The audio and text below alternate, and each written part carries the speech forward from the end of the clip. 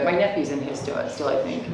Is he not? Well, he wasn't here. Yeah. Ricky Knight Jr. I don't know if you guys know him or not, but he's an incredible, incredible wrestler. He just wrestled Zack Sabre Jr. this weekend at Rev Pro. He's going to be the next big thing for sure.